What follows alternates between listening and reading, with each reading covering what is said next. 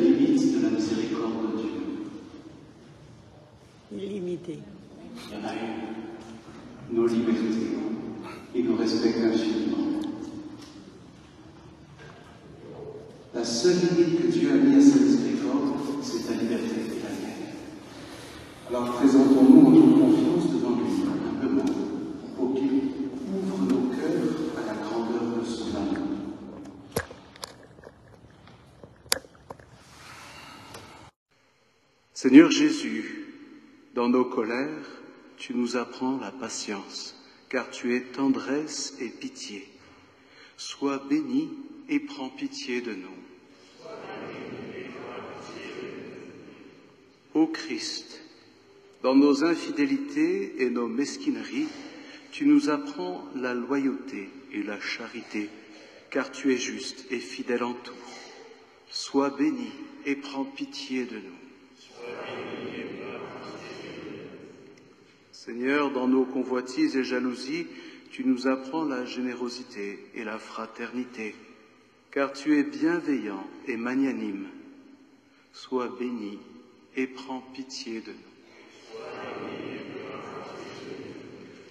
Que Dieu Tout-Puissant nous fasse miséricorde, qu'il nous pardonne nos péchés et nous conduise à la vie éternelle. Chantons la gloire de Dieu.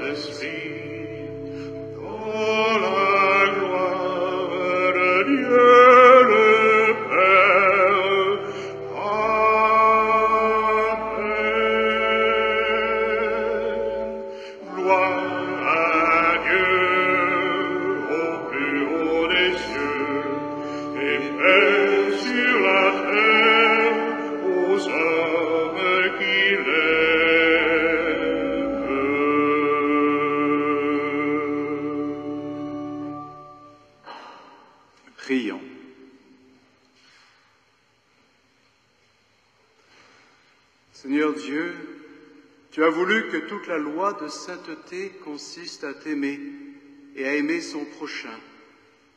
Donne-nous de garder tes commandements et de parvenir ainsi à la vie éternelle. Par Jésus-Christ, ton Fils, notre Seigneur, qui vit règne avec toi dans l'unité du Saint-Esprit, Dieu pour les siècles des siècles. Mettons-nous à l'écoute de la parole de Dieu.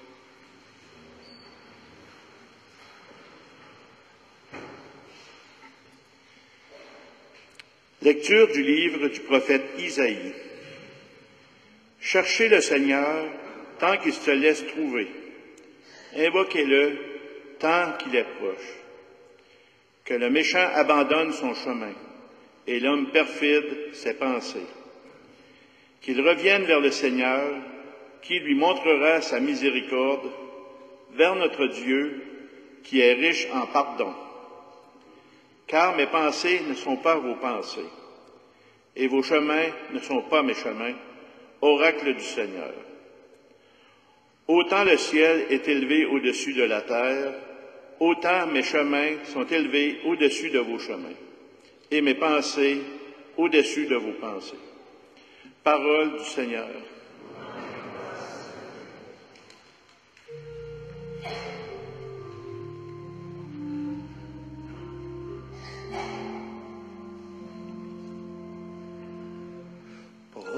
Proche le Seigneur de ceux qui l'invoquent.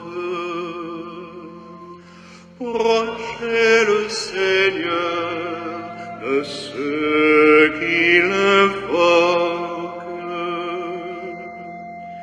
Chaque jour je te bénirai, je louerai ton nom toujours et à jamais. Il est grand le Seigneur, hautement loué. À sa grandeur, il n'est pas de limite.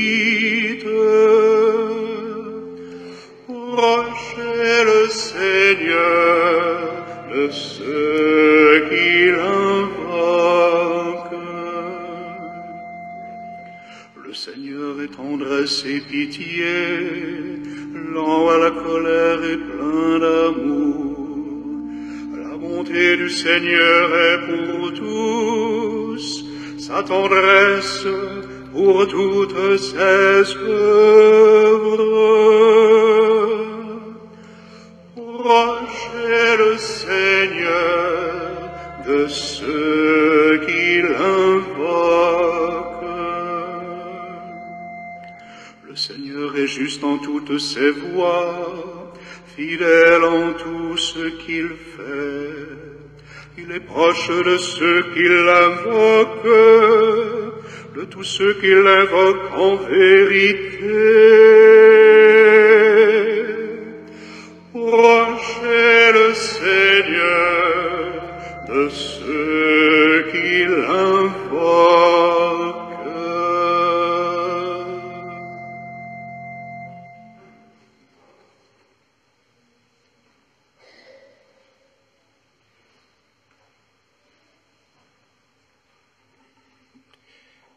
De la lettre de Saint Paul apôtre aux Philippiens.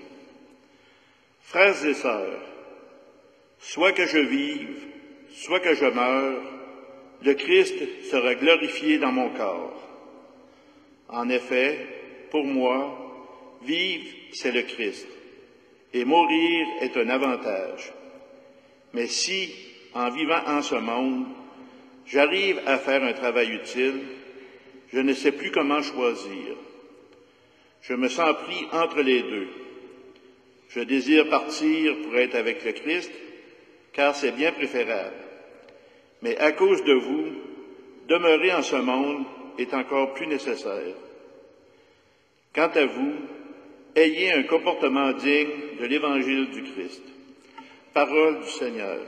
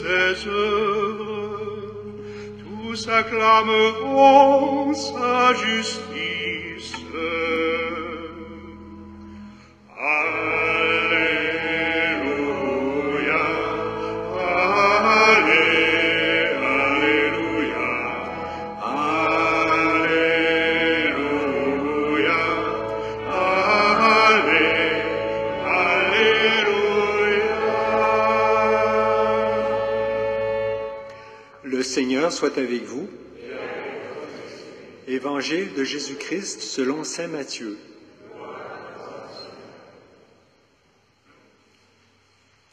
En ce temps-là, Jésus disait cette parabole à ses disciples. Le royaume des cieux est comparable au maître d'un domaine qui sortit dès le matin afin d'embaucher des ouvriers pour sa vigne.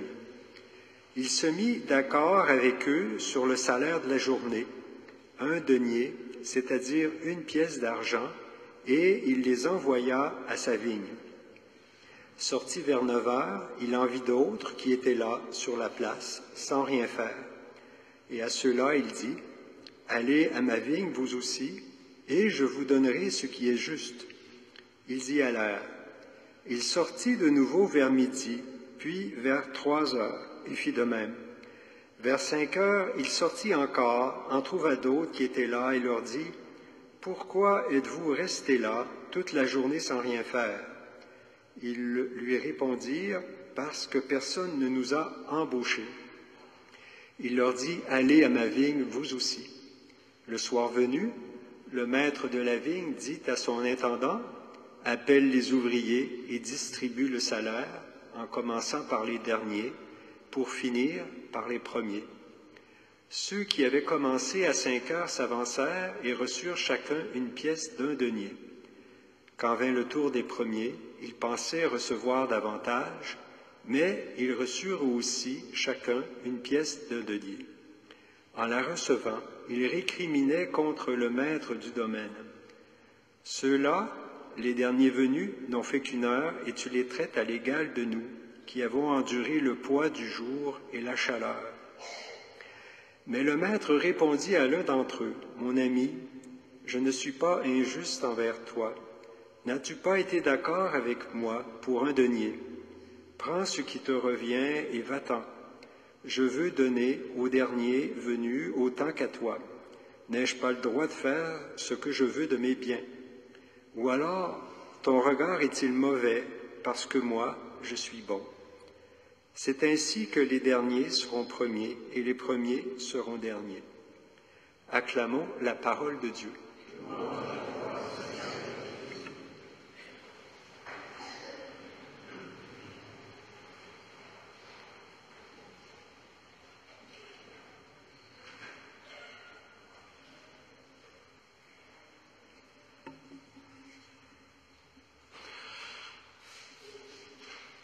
Question en passant.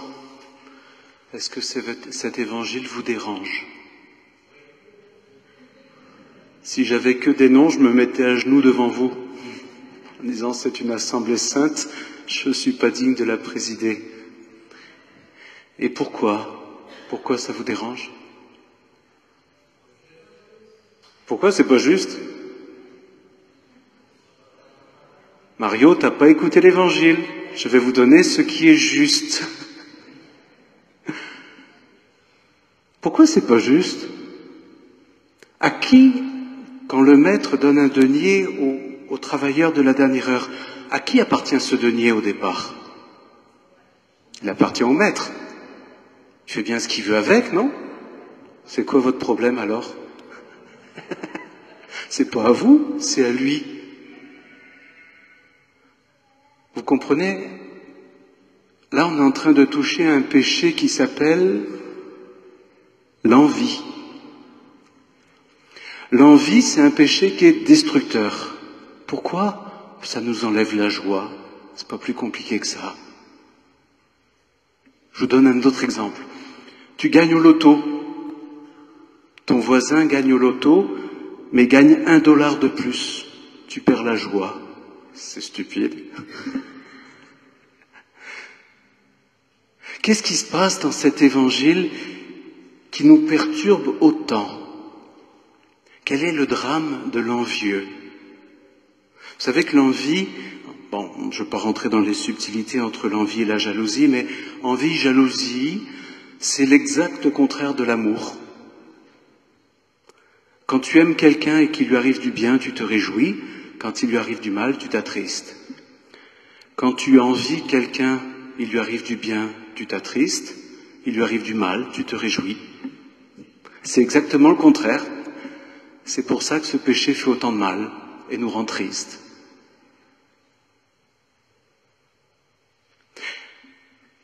Cet évangile touche, je crois, quelque chose de dramatique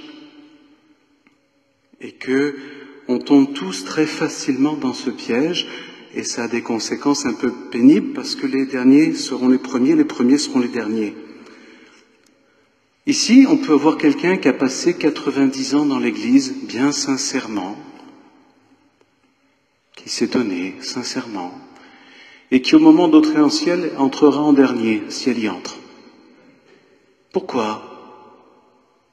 Ben, Je suis désolé, mais si jamais j'aime l'ouvrier de la dernière heure, je vais être super content qu'il ait un salaire complet. Si je suis centré sur moi, c'est pas juste. Une heure, un denier, douze heures, un denier. C'est beau, non? C'est très beau si jamais, en étant dans l'Église, j'ai commencé à apprendre à aimer et à m'oublier. Et c'est injuste si je reste centré sur moi. Je peux passer toute ma vie dans l'Église, je peux passer la moitié de ma vie comme prêtre, tu peux passer toute ta vie comme bénévole, à prétendre servir le Seigneur, mais à ne pas aimer ce que Dieu aime et à ne pas détester ce qu'il déteste. Au fond, je me sers de Dieu pour me réaliser moi, et je veux que Dieu rentre dans mes projets, dans ma façon de voir. Et quand il ne le fait pas, je suis triste, je me révolte, je le traite d'injuste. C'est tout à fait possible. Hein on peut passer notre vie à la messe et à la fin, on n'a jamais appris, on n'a jamais laissé le Seigneur nous transformer le cœur pour nous rendre capables de la vie éternelle. C'est tout à fait possible. Et comment je vois si je laisse le Seigneur me transformer ou pas? Ben C'est simple. Est-ce que tu juges ou est-ce que tu aimes? Qu'est-ce qui sort de toi quand tu regardes l'autre? Le jugement ou l'amour? S'il sort le jugement et que ça ne s'est pas amélioré, tu es juste en train de te chercher toi tout le temps. Puis ça peut m'arriver à moi aussi. Hein, je ne vous regarde pas de haut, même si pour les besoins de la célébration je suis surélevé, mais je suis pas meilleur que quiconque ici. Je peux passer ma vie à prétendre servir l'Église et au fond, je me sers de l'Église pour me réaliser moi. Et c'est pour ça que cet évangile nous rend un grand service, parce que le malaise qu'il nous crée nous montre à quel point on n'a pas voulu se convertir, et devient une occasion de changer de direction, devient une, occasion de nous réveiller, de dire au fond, Seigneur, c'est toujours moi que j'ai cherché à travers toi. Apprends-moi à t'aimer toi. Je ne sais pas s'il y a quelqu'un qui a un prion pas loin, que disait la prière d'ouverture, t'aimer toi et mon prochain.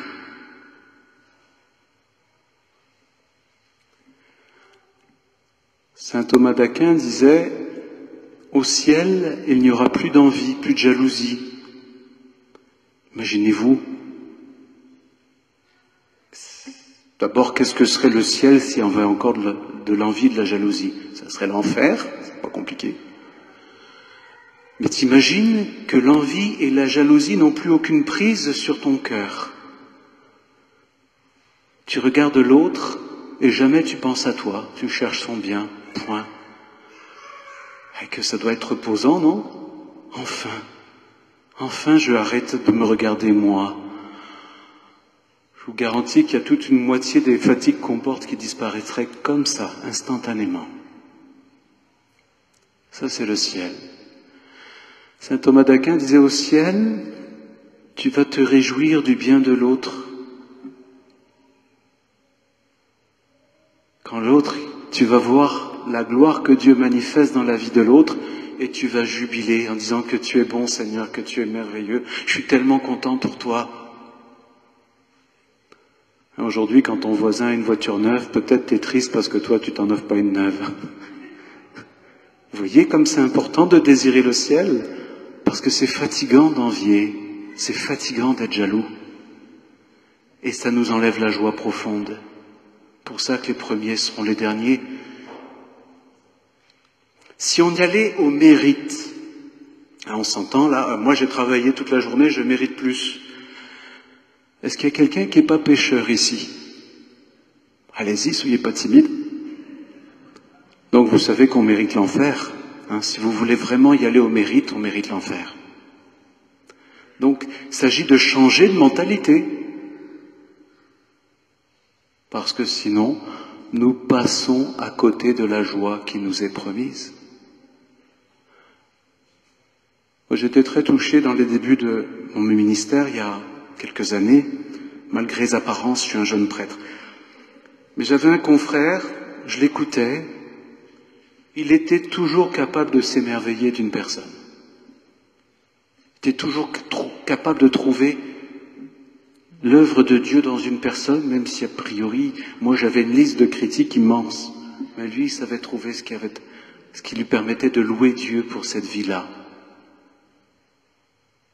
Un regard admiratif.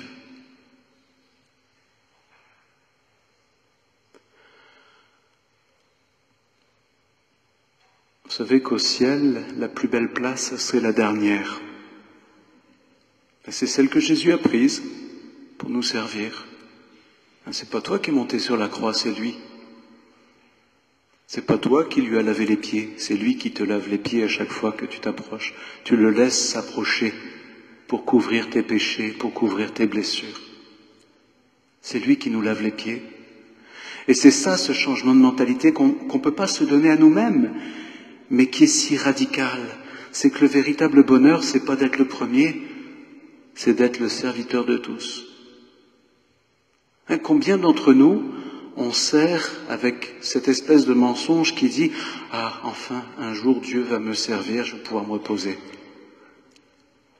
Et ça, ça, ça s'appelle travailler toute la journée sous le poids du jour, porter le soleil et être fru à la fin en ne voyant pas la grâce que c'est de servir en ne découvrant pas que se mettre au service, là est le véritable bonheur. Hein, combien on est dans les familles, après tout ce que je fais, lui il arrive, il met les pieds sur la table. Ah, ben oui. Tu vois pas que toi tu as la grâce d'être embauché très tôt et que le Seigneur te donne déjà ta récompense. Peut-être parce que mon cœur est mercenaire et qu'il ne se donne pas réellement dans le service qu'au fond, je le fais par hypocrisie ou parce que j'ai pas le choix ou parce que je veux une récompense. Comme si le fait de servir était un malheur plutôt qu'un bonheur. C'est pour ça que nous risquons d'être les derniers, parce que nous n'apprenons pas où est le véritable bonheur, qui est d'aimer et de servir. Un autre dominicain, je pense que c'était Maître Eckhart, qui, qui dit une chose horrible il dit, quand Dieu fait un don à quelqu'un, si tu apprends à te réjouir de ce don, ce don t'appartient. Si tu te réjouis plus que la personne à qui ce don est fait, ce don t'appartient plus à toi qu'à elle. Impressionnant C'est impressionnant. Mais regardez, regardez des grands-parents qui voient les, qui se réjouissent de la vie de leurs petits-enfants. Est-ce qu'ils sont jaloux d'être à leur place? Non, ils se réjouissent parce qu'ils les aiment.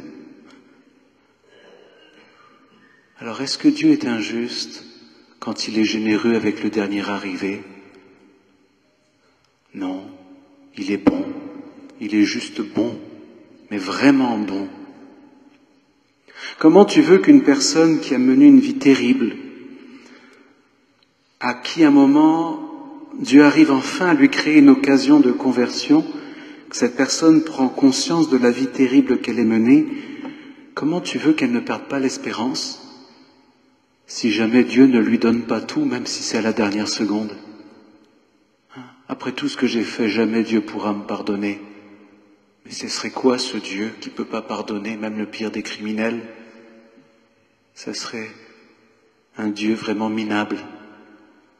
Le véritable Dieu est tout à fait capable de lui pardonner s'il accepte d'entrer dans la conversion à laquelle il doit entrer. C'est pour ça qu'au début, je vous disais, il y a une limite à la miséricorde de Dieu. C'est ma liberté et c'est la tienne.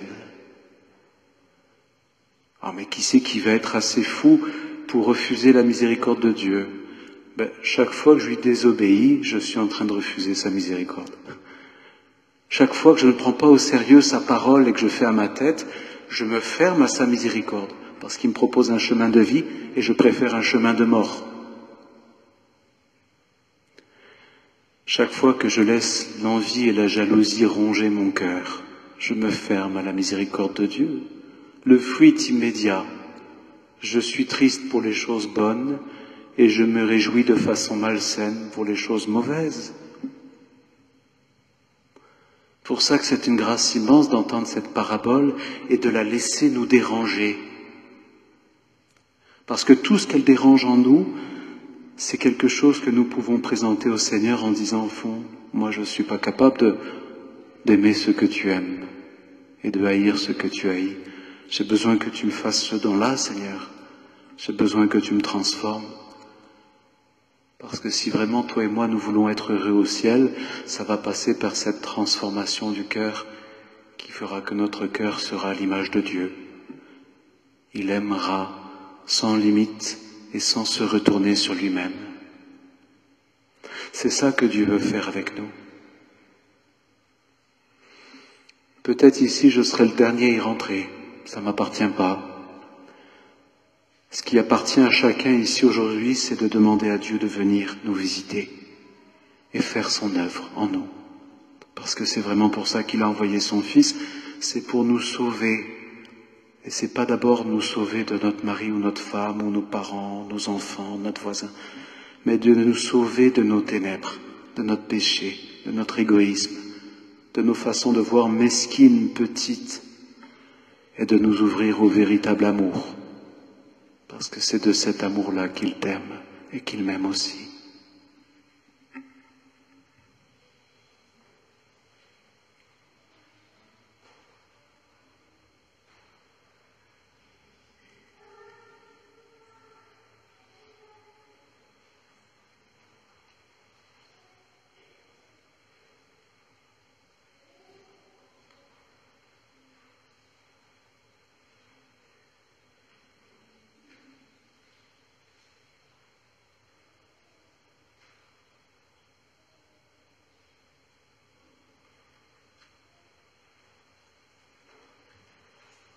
Professons notre foi, la foi de toute l'Église.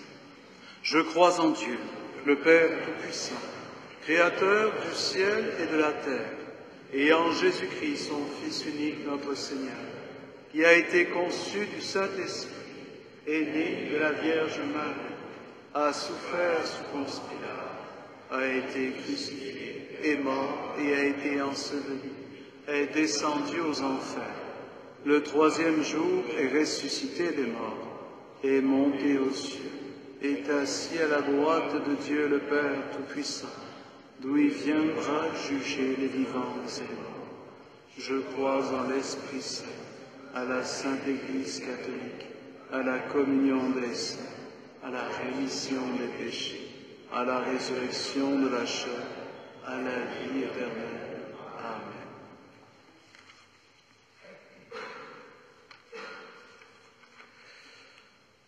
Le Seigneur se fait proche de tous ceux et celles qui l'invoquent en toute sincérité.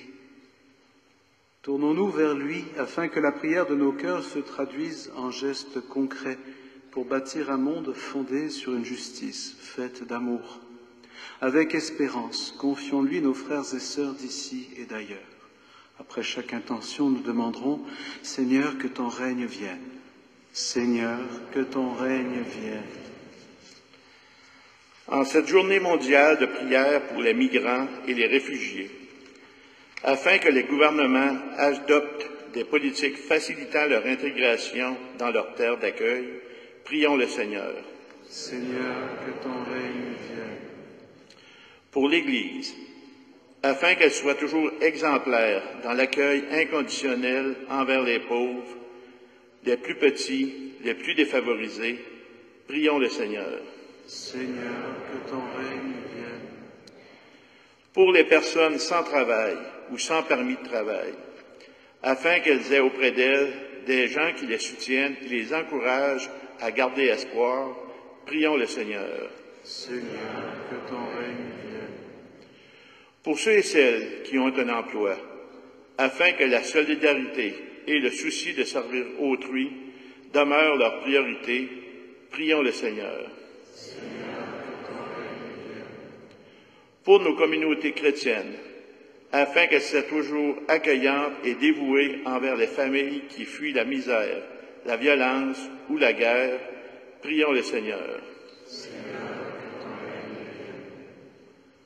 Prions aussi de façon particulière pour l'âme de Marie-Madeleine Lévesque, qui était l'épouse de feu Maurice Pelletier, qui était diacre ici dans votre communauté.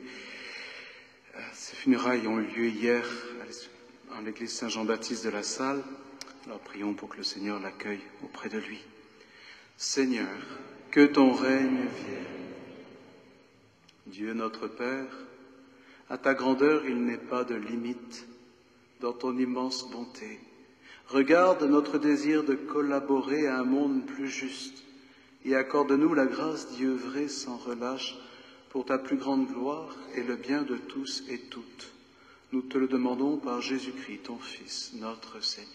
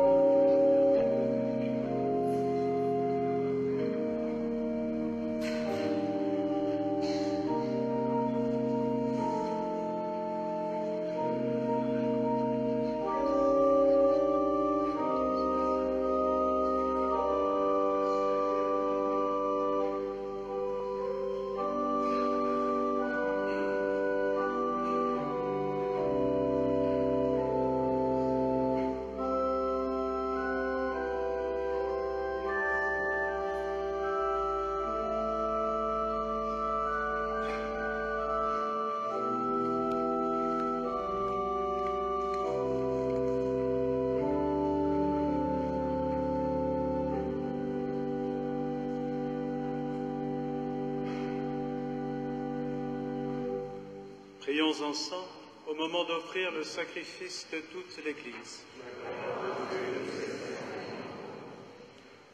Reçois favorablement, nous t'en prions Seigneur, les dons présentés par ton peuple, que tous obtiennent par tes sacrements ce qu'ils proclament dans la ferveur de la foi. Par le Christ notre Seigneur. Le Seigneur soit avec vous. Élevons notre cœur. Rendons grâce au Seigneur notre Dieu. Vraiment, il est juste et bon, pour ta gloire et notre salut, de t'offrir notre action de grâce, toujours et en tout lieu. Seigneur Père très saint, Dieu éternel et tout-puissant, par le Christ, notre Seigneur. Dans le mystère de sa Pâque, il a fait une œuvre merveilleuse, car nous étions esclaves de la mort et du péché, et nous sommes appelés à partager sa gloire.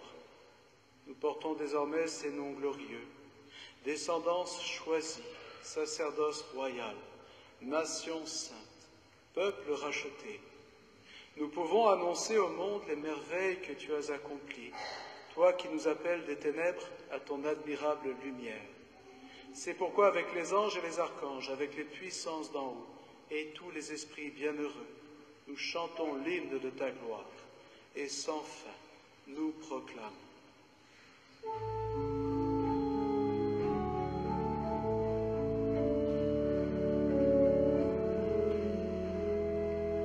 Saint, Saint, Saint le Seigneur,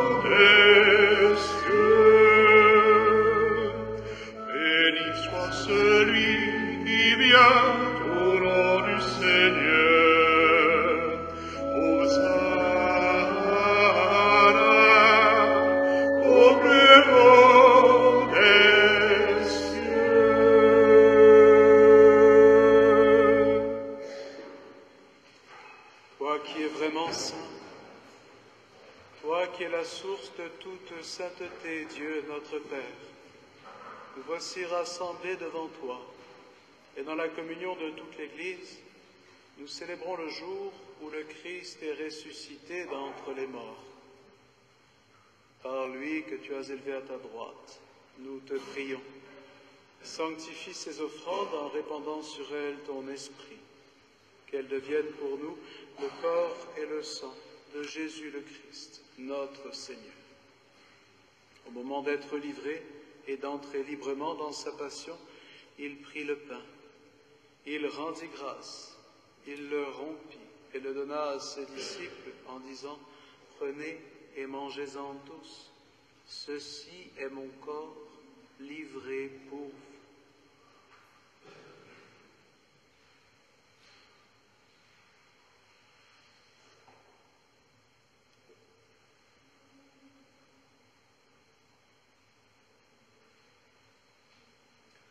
De même, après le repas, il prit la coupe. De nouveau, il rendit grâce et la donna à ses disciples en disant, Prenez et buvez-en tous, car ceci est la coupe de mon sang, le sang de l'alliance nouvelle et éternelle, qui sera versé pour vous et pour la multitude en rémission des péchés. Vous ferez cela en mémoire de moi.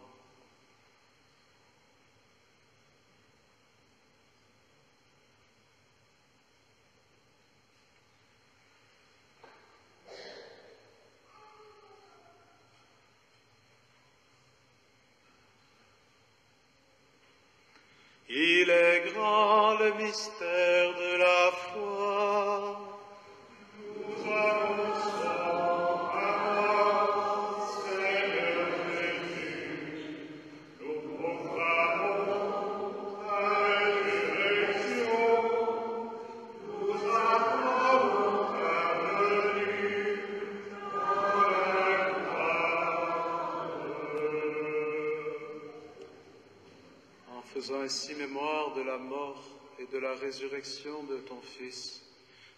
Seigneur, le pain de la vie et la coupe du salut.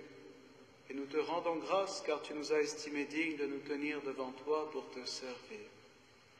Humblement, nous te demandons qu'en ayant part au corps et au sang du Christ, nous soyons rassemblés par l'Esprit Saint en un seul corps. Souviens-toi, Seigneur, de ton Église répandue à travers le monde. Fais-la grandir dans ta charité, en union avec notre pape François, notre évêque Gérald, son auxiliaire Marc, et tous les évêques, les prêtres et les diacres. Souviens-toi aussi de nos frères et sœurs qui se sont endormis dans l'espérance de la résurrection. Souviens-toi particulièrement ce jour de Valère de Blois. Et souviens-toi dans ta miséricorde de tous les défunts. Accueille-les dans la lumière de ton visage. Sur nous tous, enfin, nous implorons ta bonté. Permets qu'avec la Vierge Marie, la bienheureuse Mère de Dieu, avec Saint Joseph, son époux, les apôtres, Sainte Geneviève et tous les saints qui ont fait ta joie au long des âges, nous ayons part à la vie éternelle et que nous chantions ta louange et ta gloire par ton Fils Jésus le Christ.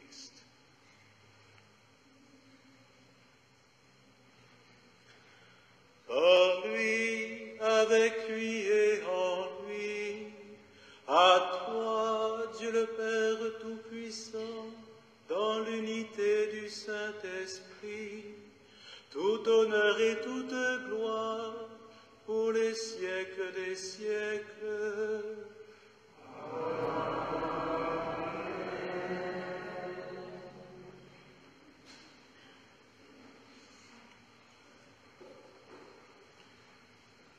L'avons appris du Sauveur, et selon son commandement, nous osons dire, Notre Père qui es aux cieux, que ton nom soit sanctifié, que ton règne vienne, que ta volonté soit faite sur la terre comme au ciel.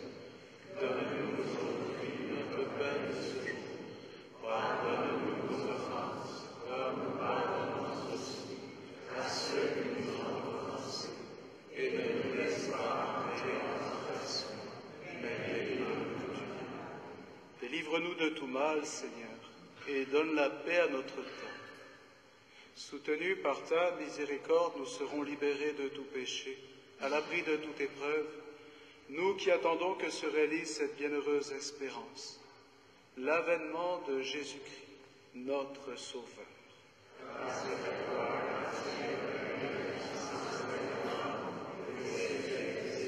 Seigneur Jésus-Christ, tu as dit à tes apôtres, je vous laisse la paix, je vous donne ma paix. Regarde pas nos péchés, mais la foi de ton Église. Pour que ta volonté s'accomplisse, donne-lui toujours cette paix et conduis-la vers l'unité parfaite. Toi qui vis et règnes pour les siècles des siècles. Que la paix du Seigneur soit toujours avec vous. Frères et sœurs, dans la charité du Christ, donnez-vous la paix.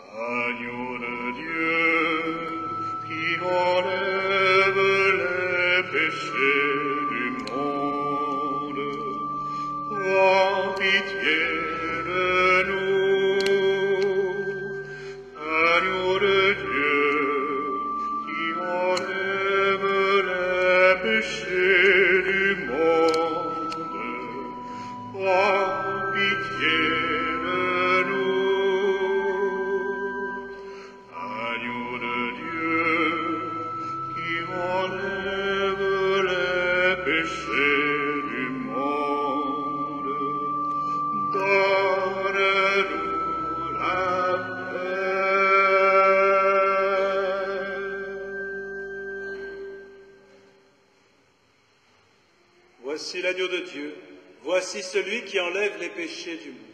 Heureux les invités au repas des noces de l'agneau. Seigneur, Jésus,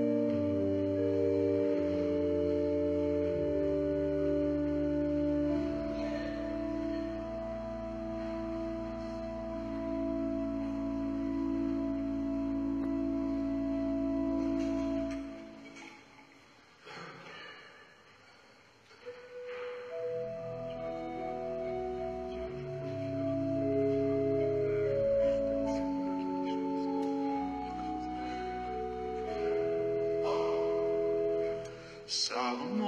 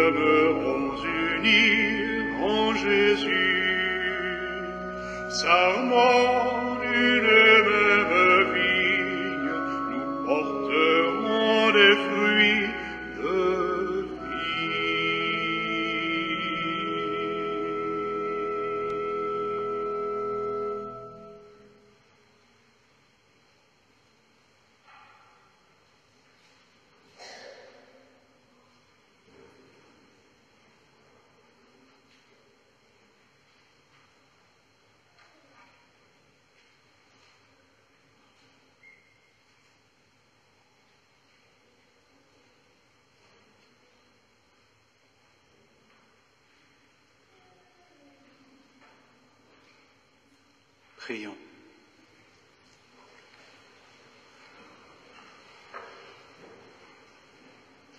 Dans ta bonté, Seigneur, fais que ton aide soutienne toujours ceux que tu as nourris de tes sacrements, afin qu'ils puissent, dans ces mystères et par toute leur vie, recueillir les fruits de la rédemption.